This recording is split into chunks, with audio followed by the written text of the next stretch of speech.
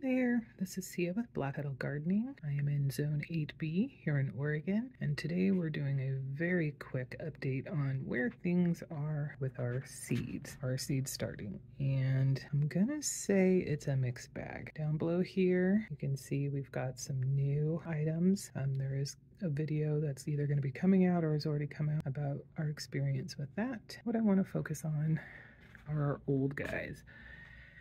And one of the biggest problems that I have is I think I started my tomatoes too early. That and I think our spring has been unexpectedly cool. Though I think as a general rule, we figure you probably don't want to um, plant out tomatoes until May anyway.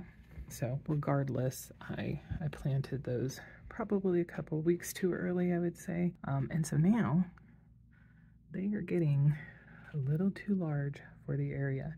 And I actually already had to pinch off a few flowers because um, I definitely don't want them to flower in here. So hopefully I can get them to hold on until at least the first week of May. And I say hold on because, you know, looking at some of these, they are not looking in the best of shape leaves are, you know, oh, there goes that, um, discolored.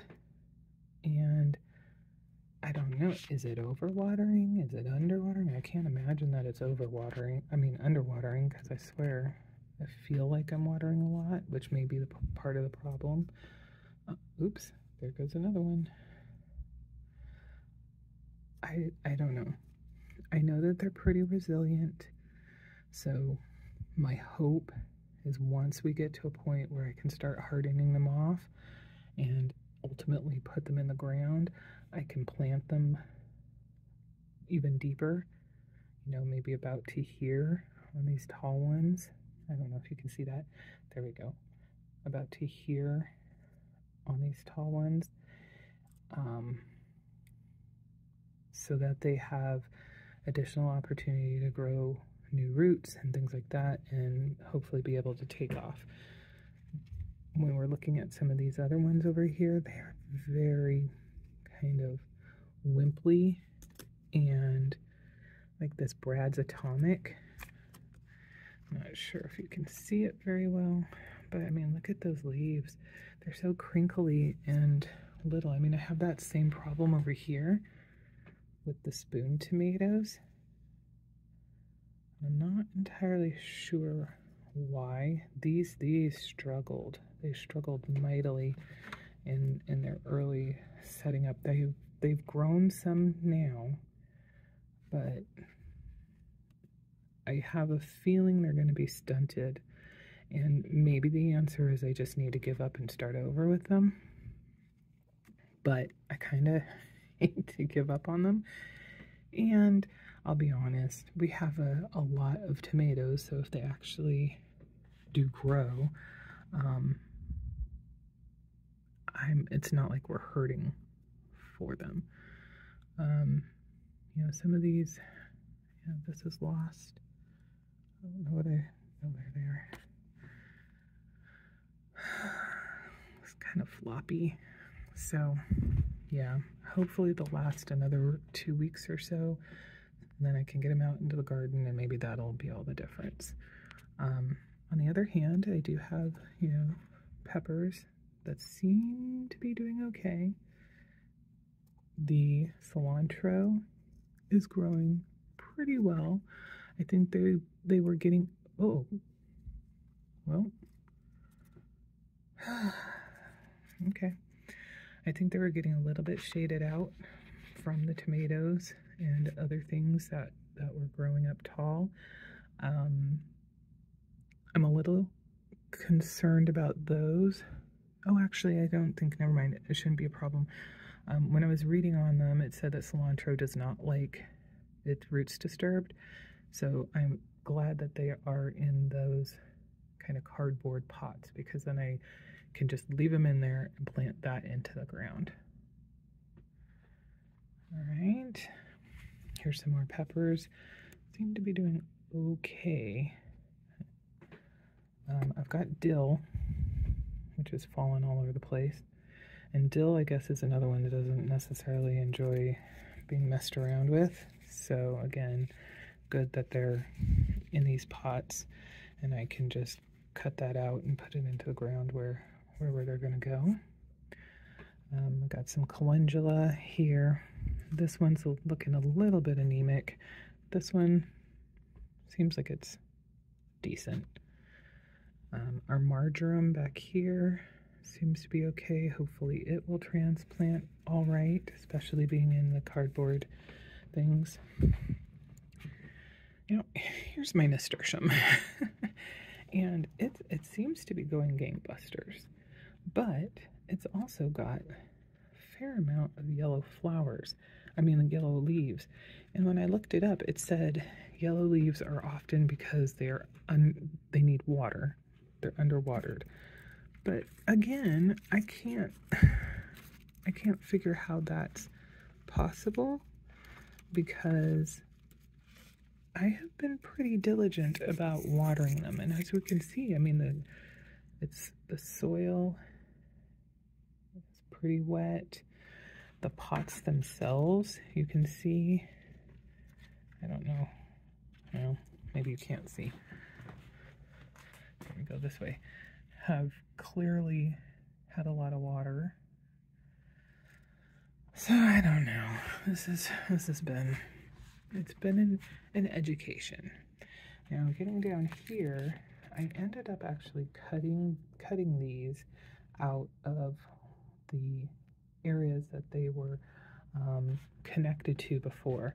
I'm going to say a couple of them were matched up with the um, peppers right here and mm, I don't remember where else these things were were attached, but these are supposed to be cabbages. And, you know, if I feel these, these are very limp, not strong at all. I don't know if they'll bounce back, but I think now is around the time where we should be okay to plant them. Um, we've got this one. This, oops, this one's a little bit stronger looking, as is this one over here. I don't know if you can see it. There we go. So it may just be these two that are sad and unfortunate. Um, if they survive, I will still plant them out just to see what happens. Um, here we've got our Brussels sprouts which seem to be doing. I don't know if you can see them really well. But again, I think I need to be getting them actually into the garden. So I'm trying to get them hardened off. And that was one of the reasons why I wanted to actually separate them out because getting these hardened off, I need to do that at a different time than hardening all of these off. And I don't know if my attempt to um, do the hardening off while these were all involved may account for some of the issues that, that we're having with some of these plants now. But yeah, so I would say I'm giving myself a C as far as a grade because they're alive. They seem like most of them might survive. Um, but their level of healthiness is suspect in many cases. And I would say it's definitely been a learning experience. So anyway, that's that's where we are. I will be doing another row, uh, round of seeds starting. This time it's going to be flowers. And as you can see here in these cups, um, we have another group of seeds that we've just put together. These ones are also tomatoes. So hopefully what I've learned I can apply and end up with an even better result.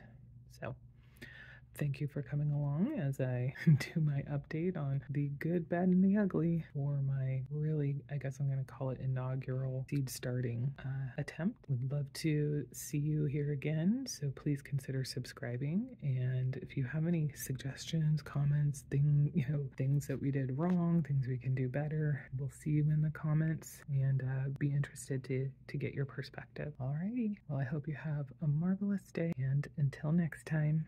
Take care of yourselves. Bye bye.